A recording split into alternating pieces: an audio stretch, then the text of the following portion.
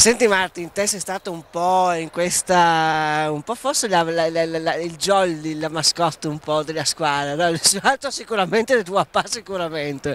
Senti, l'esperienza in B per un'età comunque giovane come la tua e con una squadra, con un gruppo di, di- di- di compagni così, penso sia stata forse tra le più belle esperienze che una persona della tua età giovanissima peraltro possa sognare.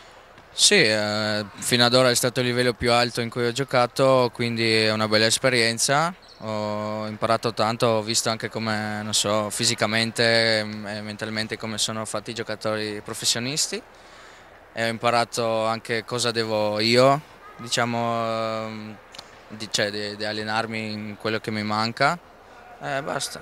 Senti, avere un papà che viene sempre in trasferta, oltre che tutte le partite in casa, com'è?